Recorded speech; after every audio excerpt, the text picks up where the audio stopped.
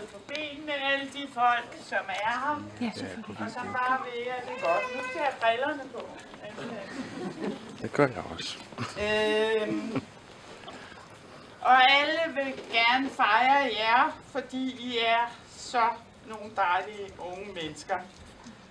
Og min tale, den, altså, lige nu så øh, står tårerne lige på vej ud, men altså, det jeg faktisk gerne vil sige til jer, det er tak.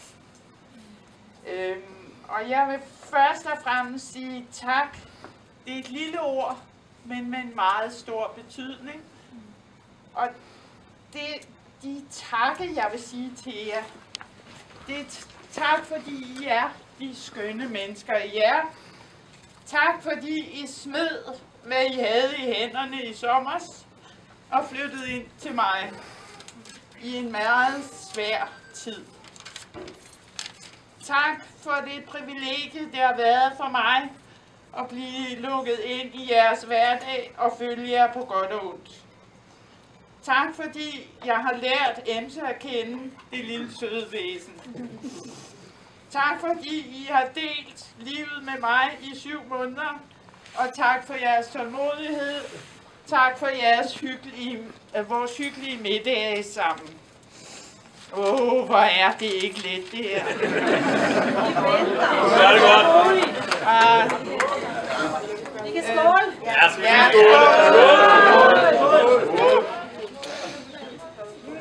Tak for jeres nærhed og omsorg, og jeg kunne blive ved.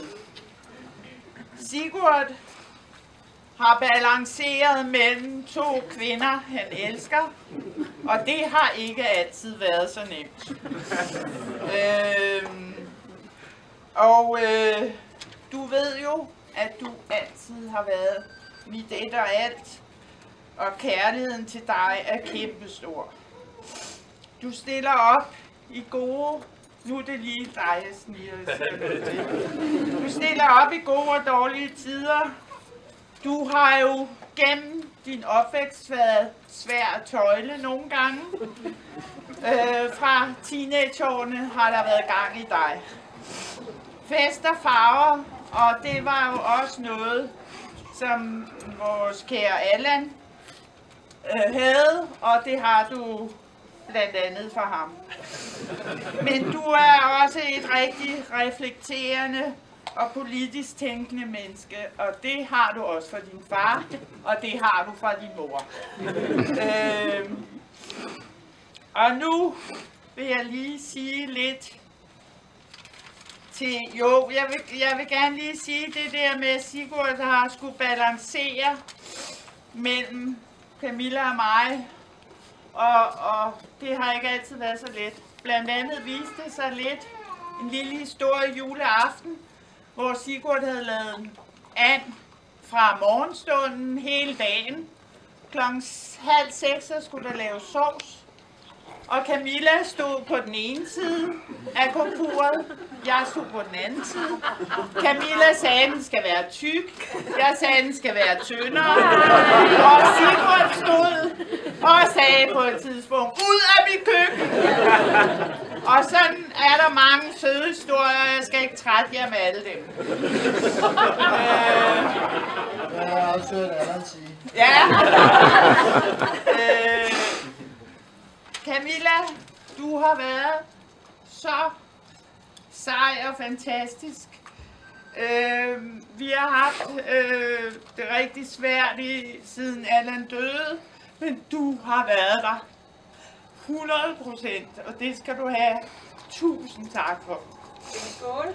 Du har været der, ikke blot for Sigurd og mig, men for hele familien. Og du har stillet op, og det er en rigtig svær ting at komme ind i en familie, som har, har, har haft en kæmpe sorg og har det stadigvæk.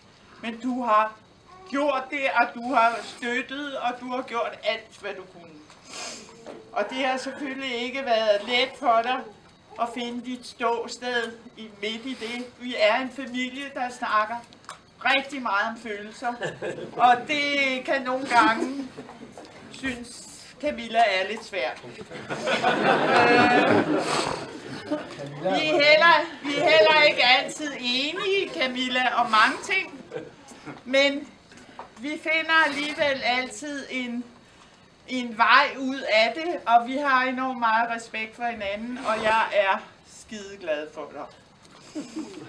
Øh, respekt for det. Og nu har I så valgt at blive gift, og det synes jeg er fantastisk, og I har vist så meget, altså jeg har jo fulgt jer så tæt, og I har vist så meget kærlighed til hinanden. Altså, øh, når I skal ud af døren, så står Sigurd jo nogle gange i underbukser, og Camilla sidder klar med frakke.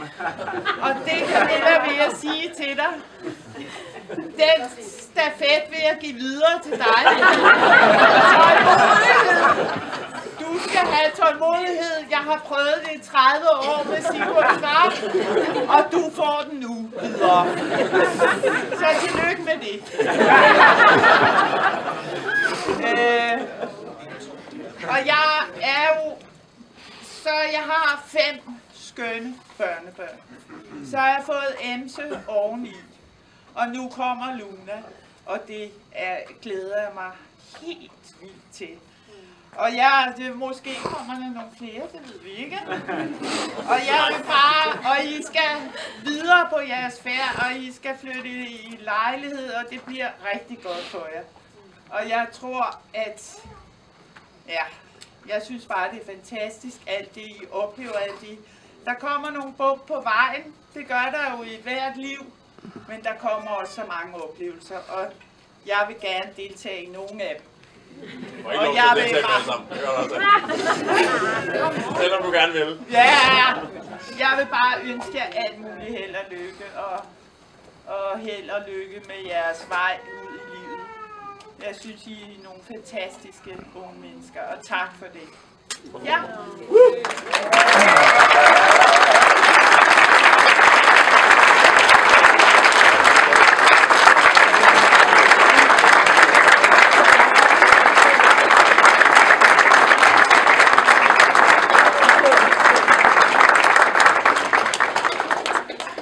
Skal vi ikke skåle? Jo, skål!